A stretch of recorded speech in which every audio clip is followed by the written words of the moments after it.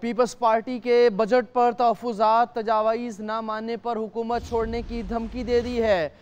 Chairman Peoples party Bilawal Bhutto Zardari کی زیر صدارت پیپلز پارٹی کی پارلیمانی پارٹی کا اجلاس ہوا۔ اراکین وفاقی حکومت پر برہم۔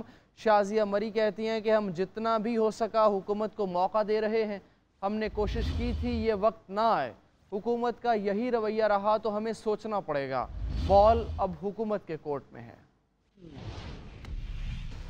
بات کا جواب دوں گی کہ کابینہ کابینہ کا ہم حصہ بننے نہیں جا رہے ہیں۔ البتہ ہم نے اس حکومت کو سپورٹ ضرور ایکسٹینڈ کی ہے۔ اور ہم ملک کے مفاد ملک میں معاشی اسٹیبلٹی اور پولیٹیکل اسٹیبلٹی کے لیے یقیناً سمجھتے ہیں کہ حکومت کو اس طرح کی سپورٹ درکار ہے۔